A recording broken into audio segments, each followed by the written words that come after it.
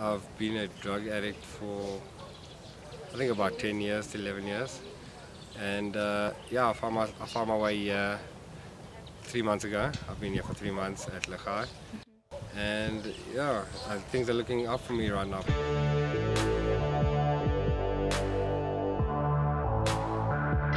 Every, you know, I, I learned here that, uh, that you, you, when you do drugs, you take on the characteristic of drugs, of the drug you're doing. So it's a really ugly, it's a really ugly thing, you know. It's really, it's really dark, it's really gloomy, and if I had to give you a picture, like that's exactly what it is. You know, like you know, they have these adverts of like people in the alleyway getting raped, getting stuff like that. That's exactly what it is. It's really, really ugly. It's really not nice, and it, it gets. There's no human being that I know or that I could like think that would lo love to live that life. You know, and uh, you know, once you once you're down in the deep pit, to get up is another story.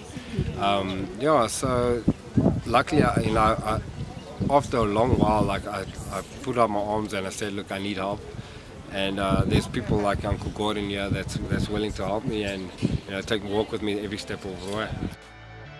We we call ourselves a reintegration program.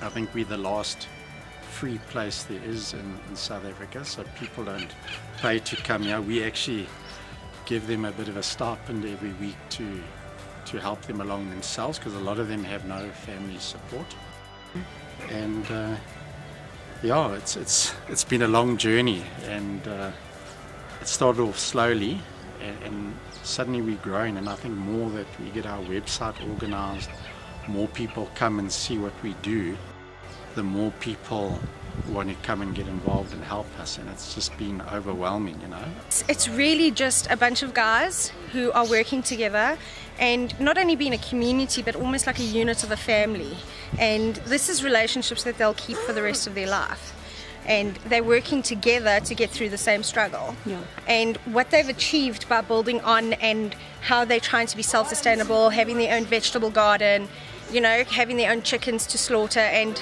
it's just wonderful. We normally help other charities in need or other places. We'll go clean the streets or we do something except for this year. So for us, this has been new. I'm totally overwhelmed with the response.